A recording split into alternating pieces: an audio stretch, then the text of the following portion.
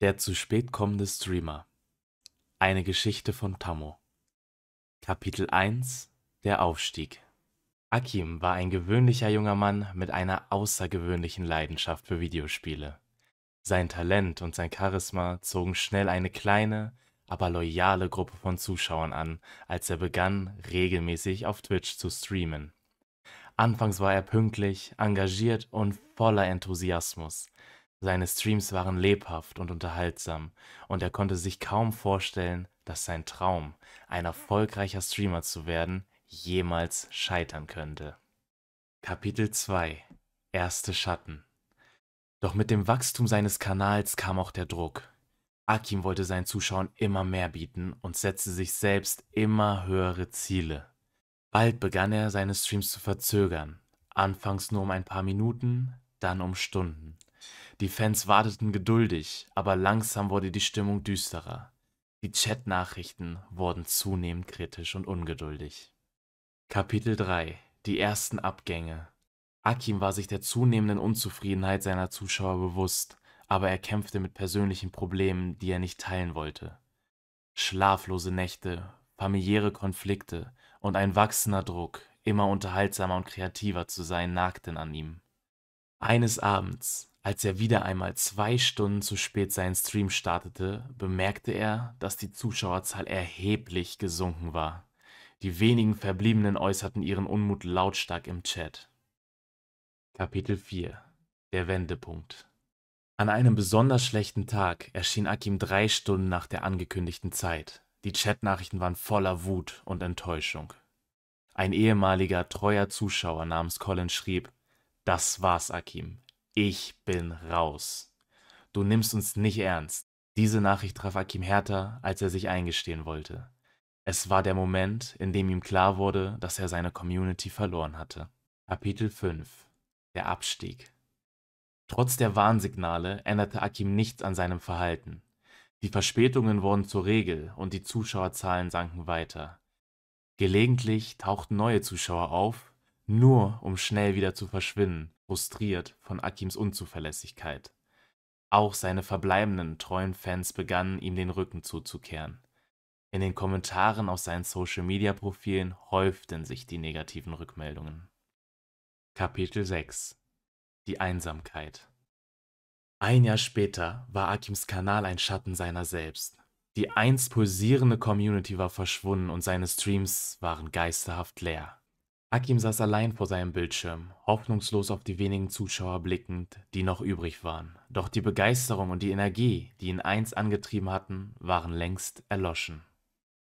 Eines Abends entschloss sich Akim, einen letzten Stream zu machen. Er startete pünktlich, aber es war zu spät. Die Zuschauer hatten sich längst anderen Streamern zugewandt, die ihre Zeit respektierten. Der Chat blieb still und Akim erkannte die endgültige Tragödie seiner Situation. Er verabschiedete sich leise, schaltete seinen Stream ab und ließ seine Träume und Hoffnungen in der Dunkelheit zurück. Kapitel 7 Das Ende Akim verschwand aus der Streaming-Welt, vergessen von den meisten, die ihn einst bewundert hatten. Sein Scheitern war eine schmerzliche Erinnerung daran, dass Talent und Leidenschaft allein nicht ausreichen. Disziplin und Zuverlässigkeit sind ebenso wichtig.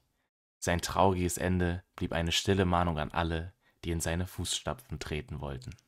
Kapitel 8 Der Plan Nach dem abrupten Ende seiner Streaming-Karriere verschwand Akim nicht nur aus der virtuellen Welt, sondern zog sich auch aus dem sozialen Leben zurück, er verbrachte seine Tage in einer kleinen dunklen Wohnung, verzerrt von Groll und Hass auf die Zuschauer, die ihn verlassen hatten. Besonders Tammo, der ihn immer wieder im Chat verspottet und kritisiert hatte, war Ziel seines Zorns. Akim begann detaillierte Pläne zu schmieden, um sich an denen zu rächen, die er für sein Scheitern verantwortlich machte.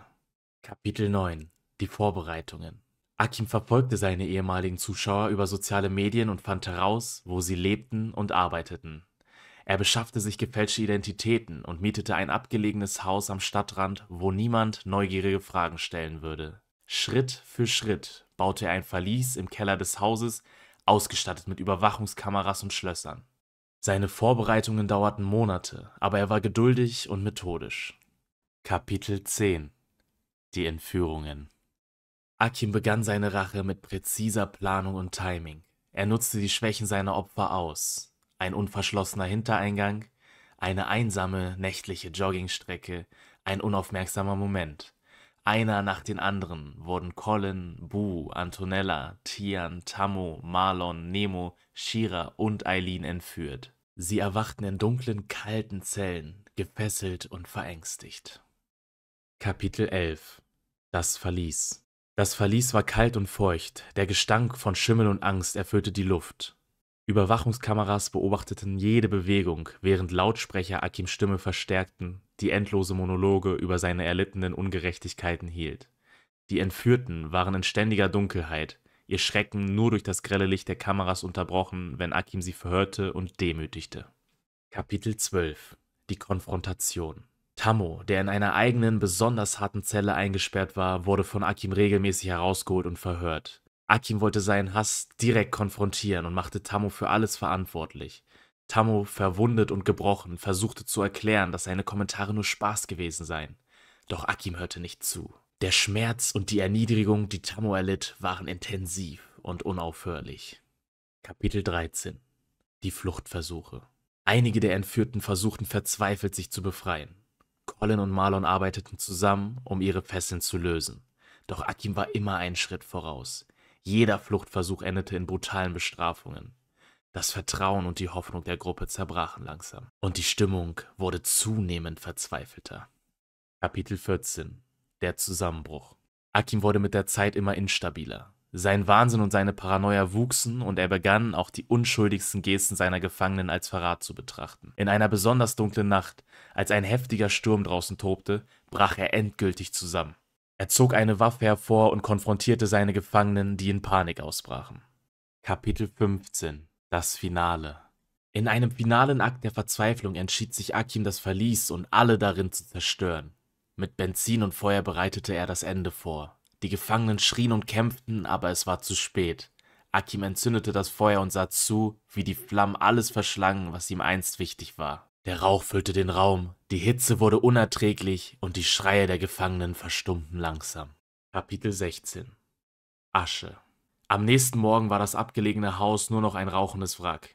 Die Polizei fand nur verkohlte Überreste und keine Hinweise auf die Identität des Täters oder seiner Opfer. Akim, Tammo, Colin, Boo, Antonella, Tian, Marlon, Shira und Eileen waren für immer verschwunden. In einem Akt der sinnlosen Gewalt und des Hasses, der keinen Sieger hinterließ. Die Welt drehte sich weiter, unbeeindruckt von den Träumen und Tragödien eines gescheiterten Streamers und seiner verlorenen Zuschauer. Fortsetzung folgt